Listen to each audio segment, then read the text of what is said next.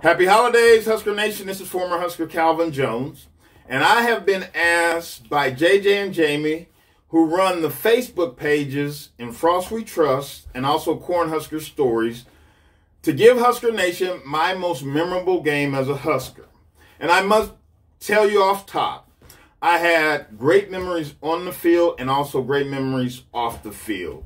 Growing up in North Omaha, I knew what Husker football was before I knew what football was, if you know what I mean. But we're going to keep it short and sweet. I know everyone's excited about the holidays. So, 1991, the first game we played was against Utah State, and that would be the first game I actually suited up and ran out in front of 76,000 people. Because my only goal on the athletic side was I just wanted to run out in front of 76,000 people and hear Memorial Stadium rock. So that was one.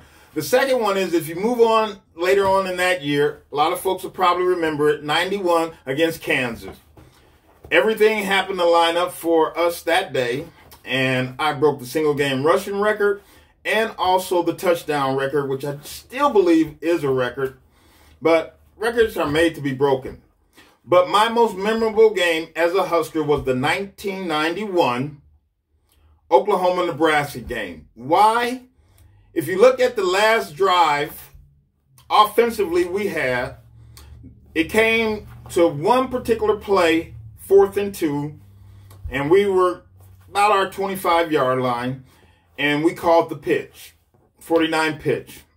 And for me to be a kid that grew up in this state, knowing what the tradition and what that rivalry meant, here was the opportunity was going to be given to me and put on my shoulders. We got the first down in it, and then the next play, I think it was like 10 or 15 yards. I ran into the end zone, and we went ahead of Oklahoma. We had not beaten Oklahoma for three years. And oh, by the way, OU, I never lost to y'all. So, Husker Nation, thank you. Happy holidays. And that is my most memorable game as a Husker. Take care. God bless. Peace.